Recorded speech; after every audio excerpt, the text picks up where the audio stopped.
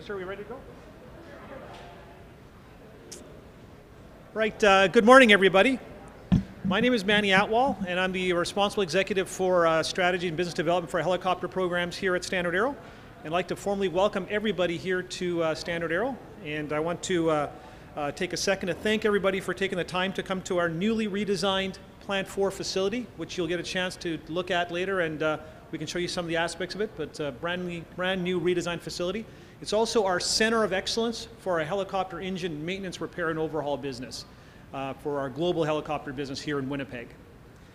I'd like to wish you a special welcome to uh, Minister uh, Kelvin Goertzen, uh, Minister of Education and Training.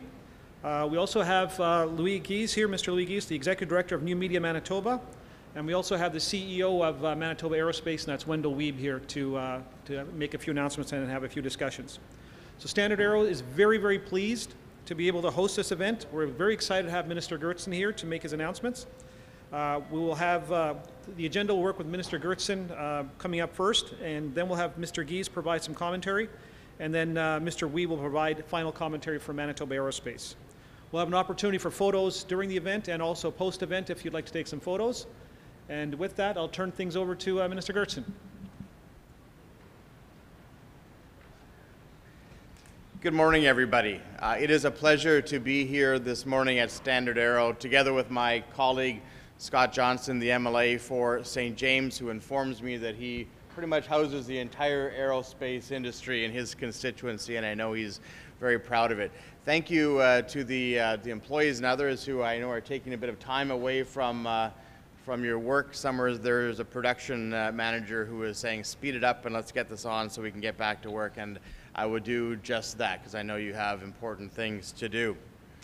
The uh, province of Manitoba created the Sector Council program way back in 1991 to promote private investment in workforce training and development and to bring together stakeholder groups to address changing needs in Manitoba industries. Sector councils are dedicated human resource development and training organizations. Provincially, sector councils in Manitoba represent more than 280,000 workers and 9,000 employers, small business owners, labor groups, and others. Manitoba supports these sector councils and we encourage long-range human resource planning. Clearly, the sector councils are an integral part and a very important part of our economic development plan. When we look at the variety in the various sector councils and the different industries that they represent, they truly are the future of Manitoba. They're the future of our workforce, they're the future of our economic prosperity, and we are pleased to be able to provide support. And that is why today I'm pleased to announce that the Manitoba government is investing $24 million over four years to help the sector councils provide workforce training and develop human resource services. This investment will help to uh, ensure that the skills and the knowledge of today's economy and tomorrow's economy is met, and that Manitoba continues to not only be competitive in that environment, but can become a leader in that environment like it is in the aerospace industry where we are here today. We will ensure that this funding is in place for four years instead of uh, an annual renewal, which has been the case in the past. Uh, and I think that that is very important to provide stability and to ensure that there is proper planning that can be in place for the sector councils. We want to ensure that um, our economy and those who are working within it understand that they have the support of the Manitoba government, but in partnership with industry. This really is about partnership, working together with industry. Government ultimately doesn't create jobs. Government creates the environment in which jobs can be created by those who are putting capital at risk by those who are working within the industry.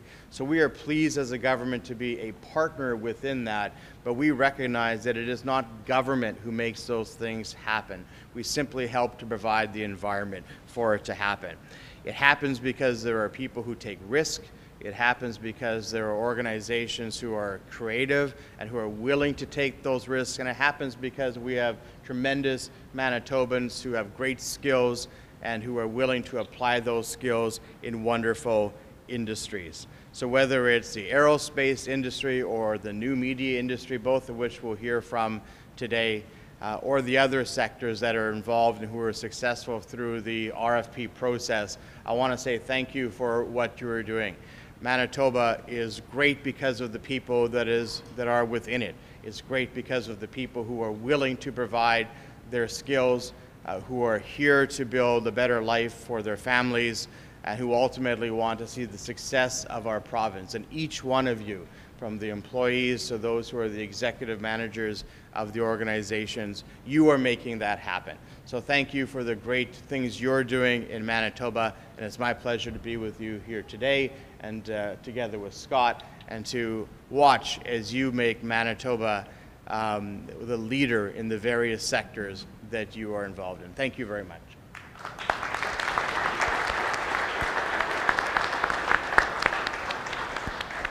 That's great. Thank you, Minister. I'm going to turn over to uh, Louie Ghiz, who's uh, with New Media. Thanks, Manny, for the introduction, and thank you so much, Minister Goertzen, for this fantastic announcement. Thanks, everyone, for coming today. It is truly an honor to be here representing the incredibly talented and innovative members of New Media Manitoba.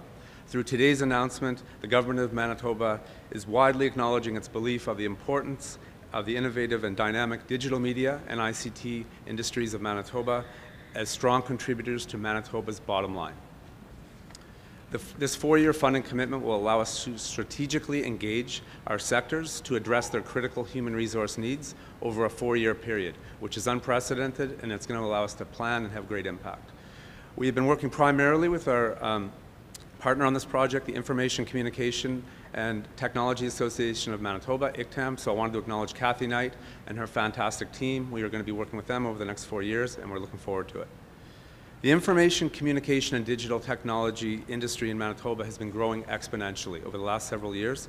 Specifically, I can say the interactive digital media sector has had 5x growth between 2012 to 2017. Here in Manitoba, world-class companies working, are working in areas such as video game development, mobile app and web development, virtual, augmented, and mixed reality, interactive installations, e-commerce, e-learning, big data, cybersecurity, artificial intelligence and machine learning, cloud computing, software as a service, and the Internet of Things, to name way more than a few.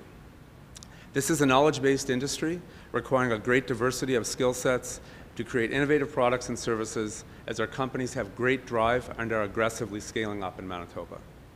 Significant industry growth is at the crux of what we've been trying to accomplish as sector councils with our membership over the last several years. With this unprecedented growth, there is a need for additional skilled talent. Now, Manitoba already produces a lot of skilled technology talent in our respected academic institutions such as the University of Manitoba, University of Winnipeg, of course, Red River College, Assiniboine Community College, and many others. But even when our accomplished students graduate, we still find ourselves with a talent shortage. So to address this issue, we've, we've developed a strategic four-year plan which we will implement with ICTAM and other great partners to add to the existing workforce and also upskill professionals already in market with best in-class training. We are really excited to work with the province and all of our partners to identify opportunities to grow the technology talent pipeline in Manitoba, and that includes the North as well. New Media Manitoba is committed to helping the province with, reach their Look North goals. We are expanding our current programming through leading edge industry training, career awareness, and mentorship with schools to start high schools in Flin Flon, The Pas, Cranberry, Portage, and Swan River. We will be demonstrating the latest interactive tools and software with the students actively engaged in the learning. Another thing, with the Manit in partnership with the Manitoba Construction Sector Council, we are in the process of hiring a Northern Technology Liaison who will spend half of the year in the North delivering cutting-edge technology demos using technology like augmented and virtual reality for the construction industry, so some, some cross-sector work as well. On behalf of New Media Manitoba and the larger industry, again, many thanks, Minister Goertzen and the province, for believing in us and our sector. We are just getting started. Thank you.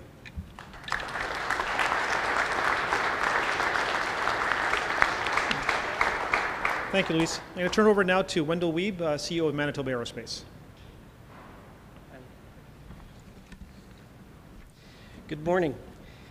The worldwide demand for aerospace products and aviation services means that the global aerospace and aviation industry are growing at an exponential rate. The rising demand of air travel is keeping production lines at aircraft, engine, and component manufacturers busy and setting records. The swelling demand continues to drive expansion of the global fleet, pushing production rates to levels never seen before for commercial aircraft. Lower oil, lower oil prices, along with the willingness of airlines to spend on upkeep, are resulting in the delay of retirement of older aircraft, which in turn provides more business for the maintenance, repair, and overhaul industry because of their additional services needed. On the global scale, current projections are indicating that 754,000 technicians will be required over the next 20 years, 189,000 of those in North America alone. The Canadian Council of Aviation and Aerospace echoes this with their projections of 55,000 workers will be required between now and 2025 across Canada. Our own labor market information indicates that over the next three years, the aerospace and aviation industry will need over 2,000 new hires. The funding that Manitoba Aerospace receives through the Sector Council program helps the industry to recruit and retain skilled employees. Over the years, Manitoba Aerospace has partnered with four key educational partners, institutions, such as the Faculty of Engineering at the University of Manitoba, Red River College, both the main campus as well as the Stevenson campus, Tech High School, and Negan College of Applied Technology. With each school, we have established steering committees which connect the industry and the school to foster communication about what our industry's requirements. Those requirements included projected, projected numbers of workers as well as the type of skills those workers will need as they enter the workforce. The Sector Council funding has also allowed us to partner with many other organizations in the community to promote awareness of the great careers in the aerospace and aviation industry. Organizations like Career Trek, WISE, which stands for Women in Science and Engineering at the University of Manitoba, Women in Aviation International, 99s Inc., and Elevate Aviation. With the funding support of the Manitoba Government Department of Education and Training, companies in the aerospace and aviation industry can take advantage of these global opportunities and create good paying jobs for Manitobans. Thank you very much.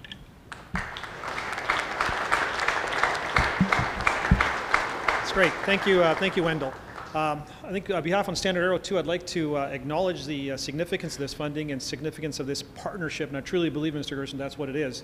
You're taking uh, government and working with truly world-class organizations and global companies uh, here in Winnipeg. So just listen to new media, and I've got a lot of background in the aerospace industry here. Truly is world-class uh, people, talent, and ability for us to service customers and operators from around the world. And working together, I think we can certainly grow and expand our footprint here in Manitoba. So thank you very much on behalf of uh, industry and, uh, and, and the you know, citizens of Manitoba. So thank you so much for that. Uh, with that, I'm going to wrap up the event here. Uh, there will be an opportunity here for photos. So if you would like to take some video or photos, please coordinate with either myself. Uh, whereas Rick Mang, if Rick Mang will raise his hand, he's just in the back there, you can coordinate with him himself as well, and we'll make sure that we've uh, got you covered off. Otherwise, thank you very much for attending. Um, appreciate everybody's time. Thank you.